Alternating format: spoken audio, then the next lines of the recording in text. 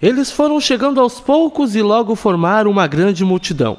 Jovens, crianças, idosos, famílias inteiras se uniram no maior protesto pacífico já realizado na história de Araranguá. A manifestação reuniu cerca de duas mil pessoas, que saiu do Relógio do Sol, na Cidade Alta, e percorreu pacificamente as principais ruas da cidade, com palavras de ordem, hino nacional, muitos cartazes e faixas de protesto. Unidos com faixas, cartazes e usando máscaras, mais de 1.500 pessoas vieram às ruas em Araranguá para marchar contra a corrupção e também para pedir mais respeito. A população brasileira mostra que acordou. O objetivo era um só mostrar o descontentamento com as ações governamentais e exigir solução para o principal problema que afeta a nação, a corrupção.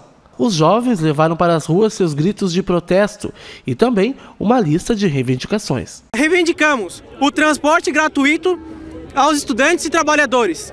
Queremos a redução do da passagem, do valor da passagem de ônibus. O valor que hoje a, a empresa oferece para a gente não tem qualidade nenhuma. Aquele terminal está abandonado. Nós queremos, a gente fica na chuva, quando chove, nós né, trabalhadores, seis horas da, da noite, tá lá na chuva, porque não tem abrigo. Seu Luiz Carlos Ribeiro, que participou da Revolução de 1968, quando os estudantes saíram às ruas para protestar por melhor educação, também fez questão de levantar bandeiras no manifesto que deve entrar para a história do Brasil.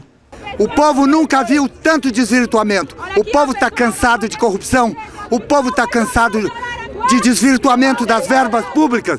Mais verba para a educação, mais verba para a saúde o país que não tivesse saneamento básico não deveria participar de campeonatos mundiais.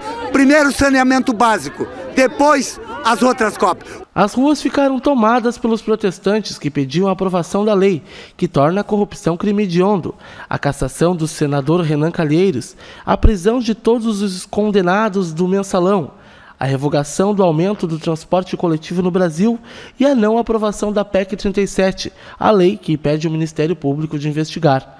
Empresários da cidade também se uniram aos manifestantes para protestar contra a alta carga tributária. Jadina Farias enfeitou até a vitrine para receber e apoiar o protesto. A classe empresarial é uma das grandes vítimas, junto com a, a, as pessoas, enquanto cidadão brasileiro, são vítimas realmente de uma política repressiva, de altas taxas de impostos. A cada dia a gente a, se depara com novas, novas cargas tributárias. Em frente à Prefeitura Municipal, os manifestantes sentaram no chão, como forma de protesto. Eles colaram cartazes nos vidros da Prefeitura e entoaram cânticos de ordem.